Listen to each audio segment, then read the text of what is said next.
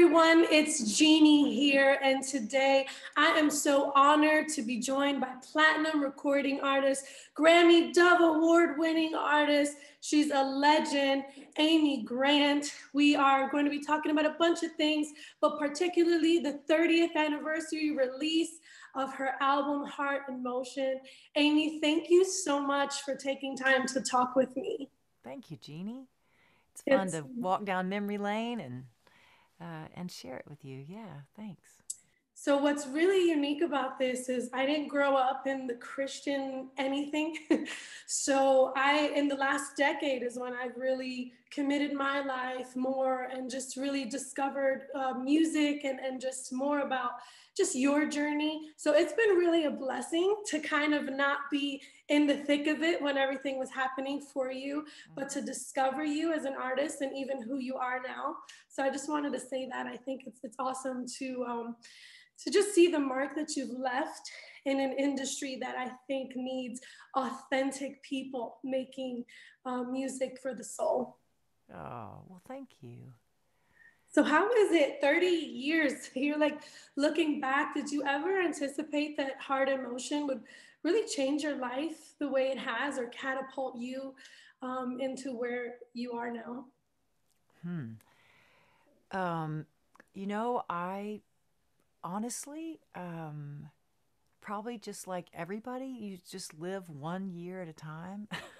then you look back and go, oh, wow, that was a game changer. But when you're in the middle of something, you don't really think about it, you know? Mm-hmm. And I, um, I, I'm 60 years old. So half my life ago is when I was making that record.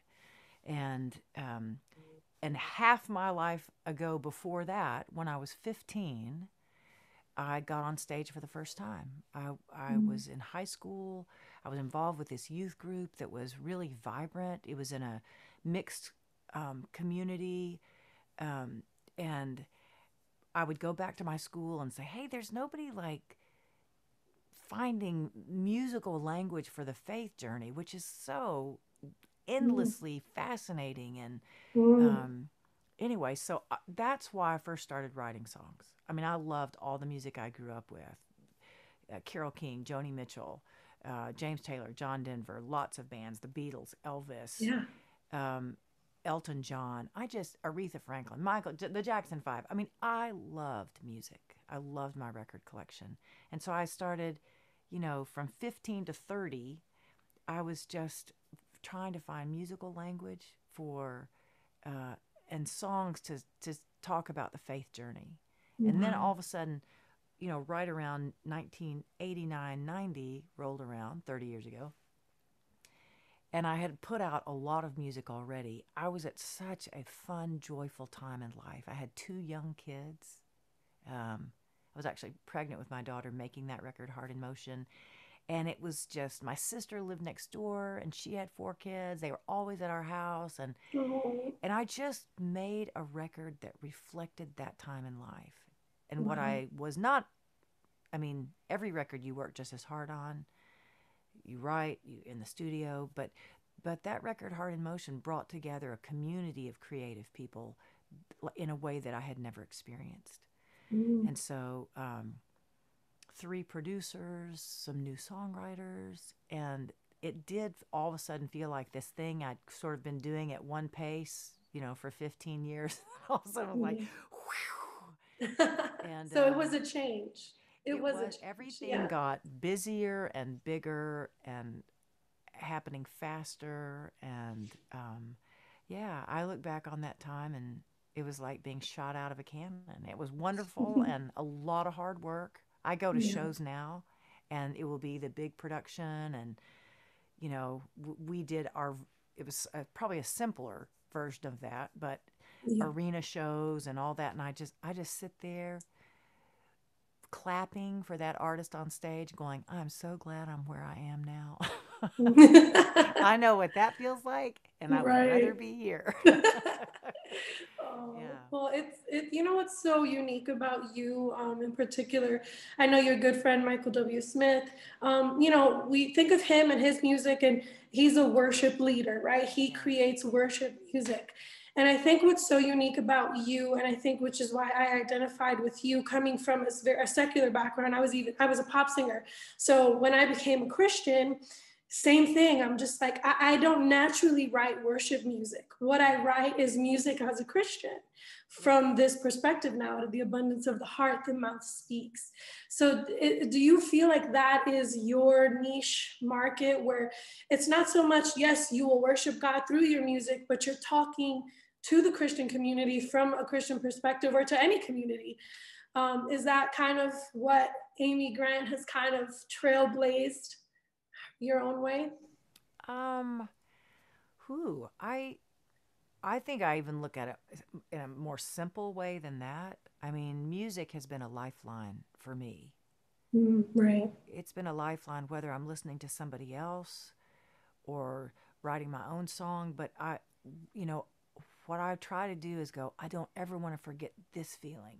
I'm going to put that in a song. Or, mm. man, I am so struggling with direction in my own life, or I'm so, I have questions about this, or I love this person, or to me, it's always been, I think I just write first and foremost for the audience of me.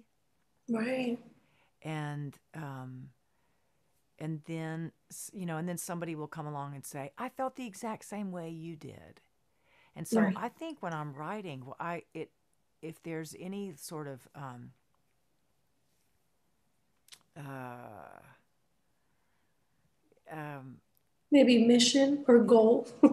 I was just thinking, I feel like I write more for an audience of one. Mm-hmm.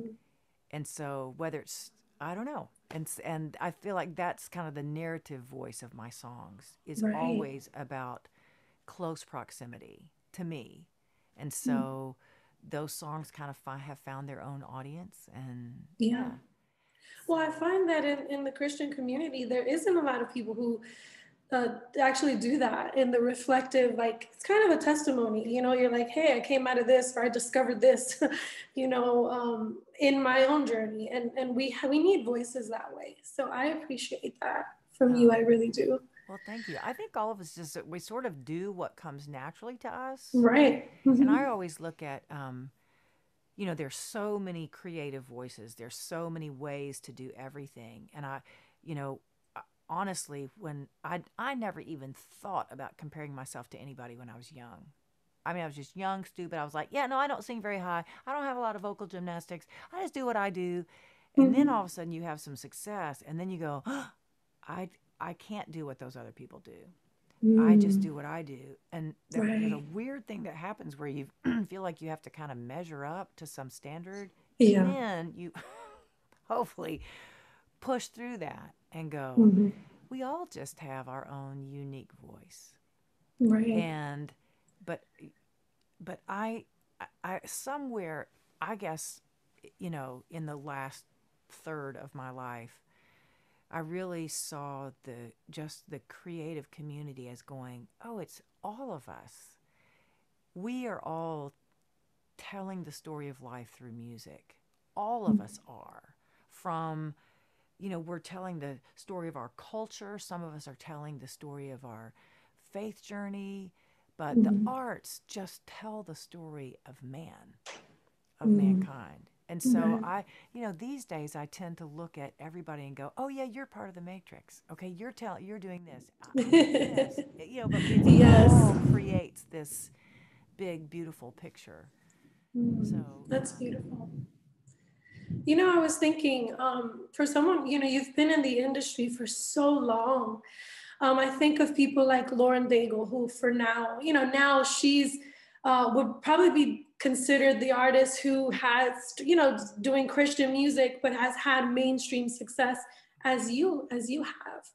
Um, and although you still hear the religious voices that are like, oh dear Lord, you know, they're going into the mainstream. I know that you dealt with that, you know, um, yourself. Uh, but but do you do you find that things have changed a little? Do you find that um, you know, music with the message like you have, like artists like Lauren and, and other people have, do you find that it's more um, accepted in the mainstream world now?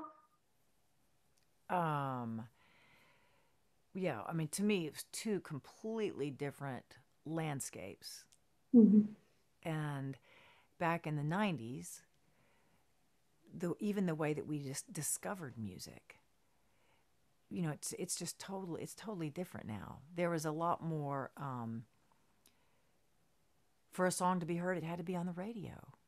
Right. I mean, way back when there was like there were uh, it was word of mouth, but you had to find music. It was not accessible.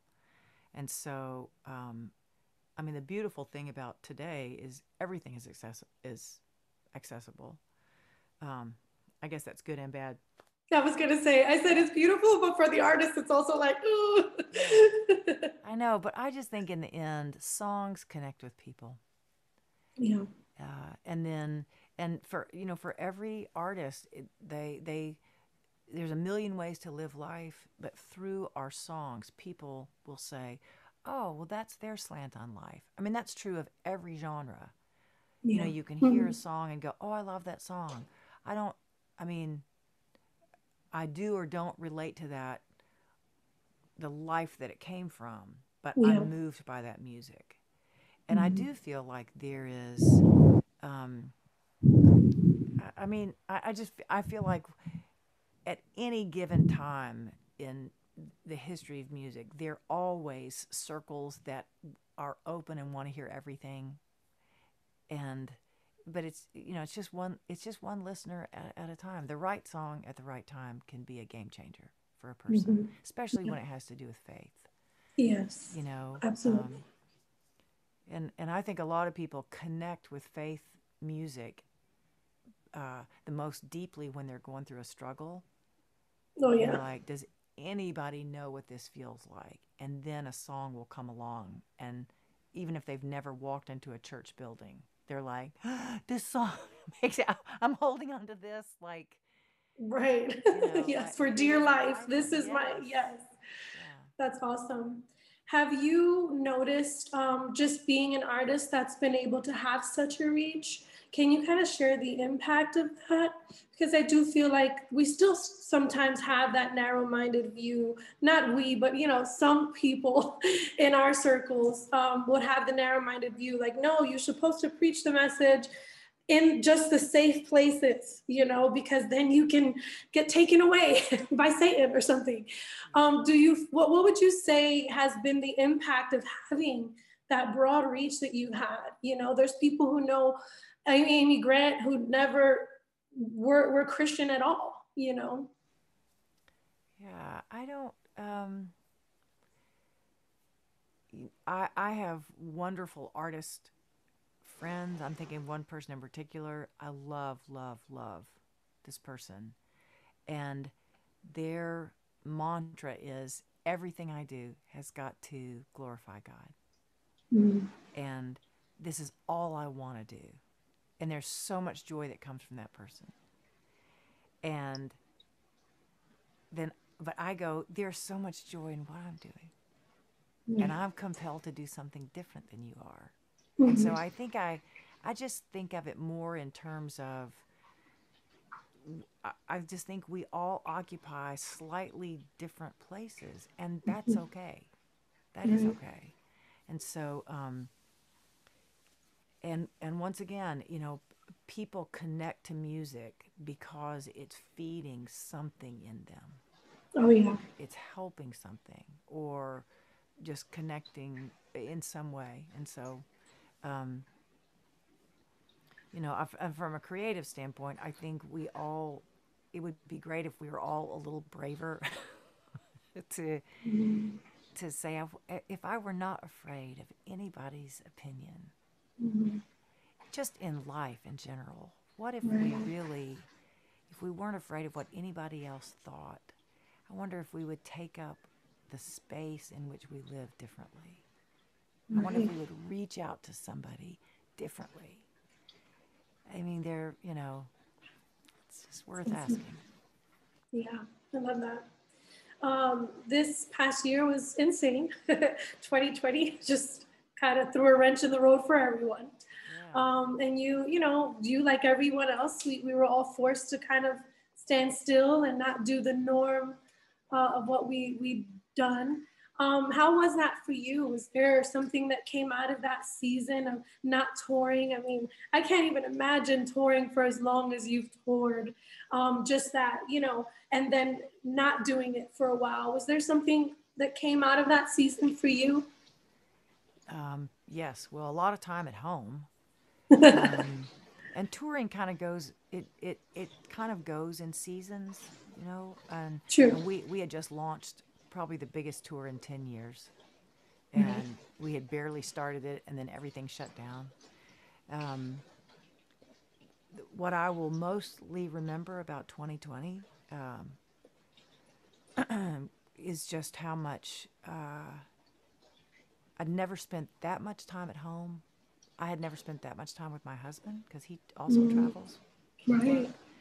Um, and our last child who we we had been empty nesters, you know, I mean, just since the fall of 2019. And I loved being a mom. I had two kids in my 20s, one in my 30s, and my last at 40. And, wow. and our blended family, I inherited our oldest uh, when I married her dad, and she was 17. of course, now she's 39. Wow. but um, I just, uh, it was the longest, um, it's just the longest time I've, I've ever been in one place. Mm. And, and, to, and for our youngest daughter to come back home from college. And that was just such a gift. And, um, and, you know, I think the game changing gift was all of us were, uh, we had so few distractions and we were so aware of each other. We are aware, more aware of each other's pain. We're more, more aware of each other's worldwide experience of COVID, more aware of our, um, more aware of uh, racism, more yeah. aware of our own limitations. You know, so many things that we experience in community, everybody was isolated. And so you go, oh, well, like apart from the team, I can't do nearly what I thought I could do. Mm.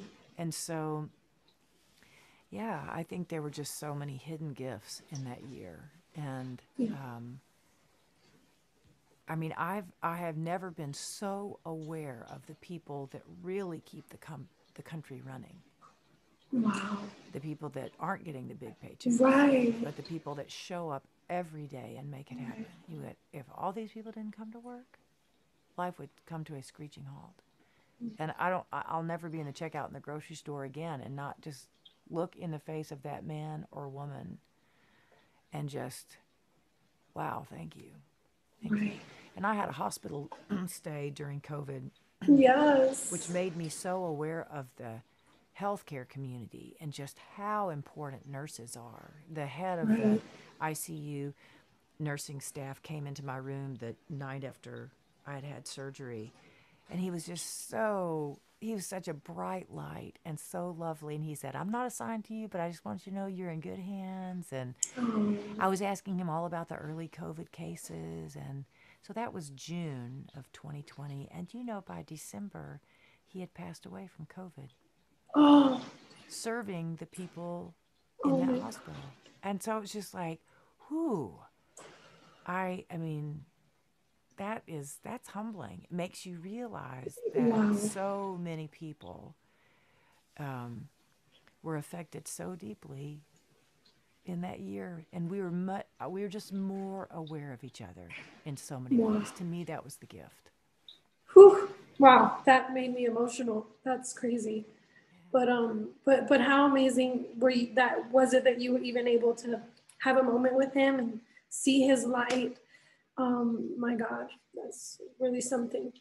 Um, you did have open heart surgery in the midst of all this. Um, and I know, you know, you said in an interview that the doctor had a gut feeling to check you out, which to me is like, what? If that's not God, I don't know what is. I know. I know.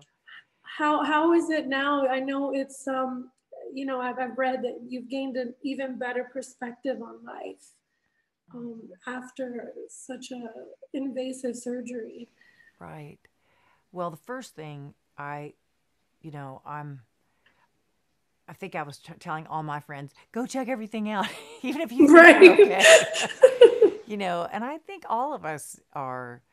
Um, we have to be reminded to I mean, you know, like That's we brush true. our teeth and do the stuff, you know, if we're bleeding, we put a band aid on it. But it is, life is a gift. And you have to say, just, just go make sure everything's okay. Yeah. And um, anyway, and honestly, I was, I'm so grateful. Yes, it was, it was scary, but um, it was fixable. And I have such a deep respect and compassion for people that have ongoing health issues. That it's not something that can be fixed with one surgery. Mm-hmm. Um, and yeah, and just um, that was really the biggest lesson, probably in it for me, is that mm-hmm. there are people that are navigating a health journey every day and they take a deep breath and they go, whew, okay, I'm going to just put my best foot forward and love the people that I'm around. But they've got a whole thing going on that's present yeah. every day in their life. Those are the people I have respect for. I called, I called a friend who has one of those ongoing journeys, and I just felt differently about her daily experience. Mm. And because I just had a little tiny taste of it, and I called her one day and said, "How are you doing?" And she said, "You know, it took a long time for me to get out of bed today." Mm. I just kind of stayed under the covers. And then I finally got up. But you know, just those subtle things about the the things that we that everybody's carrying a lot more than they let on. Everybody yeah. Yeah. true. Well, I'm grateful for the gift of you that the Lord allowed us to to continue to have you and, and to even have the doctor want to really check you. I mean, I, I really think it was it was just divine intervention really. Um, i know that you often talk about the importance of unity and we can end it here. If there's anything else you'd like to add please free. Okay. but um you know i definitely think unity is something that has been greatly threatened um, all, all of our existence because you know the enemy hates unity. But especially as you said just in 2020 we were able to kind of really see things for what they were. and and there were some big schisms and things that, that were just brought to the forefront. Can you talk about um, what does that mean? You know, I think people think sometimes there's a narrow-minded view of unity when they hear, you know, you hear somebody say unity, you think, well, that means you have to agree with everything. You have to, uh, be- they have to believe exactly what you believe. They have to look how you look. Can you explain uh, that, the importance of unity and what that really looks like for you? Um, yes. I mean, unity just means standing together, bringing your differences. And, but to unity is seeing the world around you, the people around you in an inclusive way. You know, I think about astronauts in outer space, something goes wrong. Houston, we have a problem. Well, you know, it's like to look at the world with we as, you know, we, I, I don't know. I mean, it, it, it requires a certain amount of trust. And um, because none of us sees life with this you know we, we we've got different backgrounds but but just the language of respect is so important the language of respect and um yeah i mean it's funny to be in a as we start to gather again and be in groups mm-hmm. i think there was a naivete that i know i had going into life in general just because my eyes had not been opened. Mm-hmm. and and all of the like i'm thinking the other day there's a woman that i've maybe had coffee with twice. She's half my age. We met at a a, a banquet of, that was honoring different philanthropies, and then she left Nashville and moved to New York. And she was in town visiting, and we were, um, and we got together just for a quick visit. I have never said to her, because you know I, I'm a middle-aged white woman and she is a young black woman living in New York, and I said, "What was it like when you were a kid? Like, where did you go to school? What was it like?" Mhm. And she said, um, "Well, you know, honest, I was one of just a handful of. Um, I went to a white school." And she said, "Really? That's what I did." And my dad was a pastor, and so that I had that community. But she said, "You know, I wonder, I." And and then we talked about the children that she might eventually have. But I, to me, the important thing about unity is to be so aware of our differences Yeah. And then to respectfully say my my experience was this. What was your experience?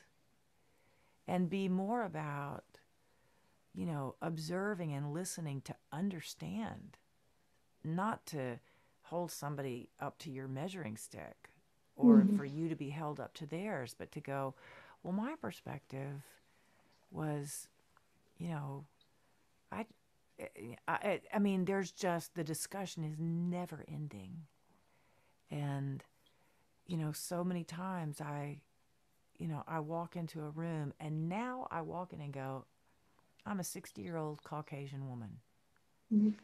And for this to walk into a room, for somebody is going to be like, oh, and for somebody else is going to be, oh, Mhm. depending on what their life experience has been. Mhm. But we've got the opportunity to step into that space in the middle and go, Hi, help me see you, and I'll try to help you see me. And we'll, to me, it's uh, unity, even the discussion of unity is all, it starts one on one. It just starts with how we value and see anybody. But the language of respect, you know, and just, um, you have to be brave you have to be brave because fear makes people behave in all kinds of ways, you know. Yeah. And you just have to go, well, this is so weird. Every once in a while, I will have this conversation with myself. This sounds so bizarre. Um, well, this thing that you're doing, if if you died doing this, is this okay with you? Mhm. Like if something happened and it heated up real fast, Yeah. and I go, yeah, that'd be okay with me. Mhm. like what you know you know what i'm saying? Like there are times where you just go i if you're trying if you're trying to reach out i don't know. I'm not saying i want like hey i'm about to rob a convenience store. Is it okay? But you know i'm I don't know. You just go you just have we have to whatever we think um,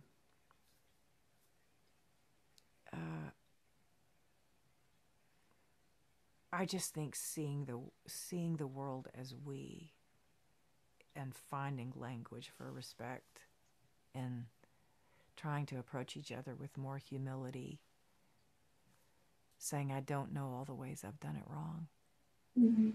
but I'm open I'm open to seeing life differently I mean how would that change our marriages times when my right. husband approach each other and we've been like if I go- exactly. I can't even figure out all the ways I'm doing it wrong Mhm. you know i don't even know myself and Yeah. you know it's just like i mean everything starts one-on-one Mm. I love that. And you know, I, I think about Jesus when you say that because I think why Jesus was so criticized, he sat with people who were so different than he was, um, was because it was different for other people to do that. But he saw the individual, he never saw whatever it was that they were doing, he saw them.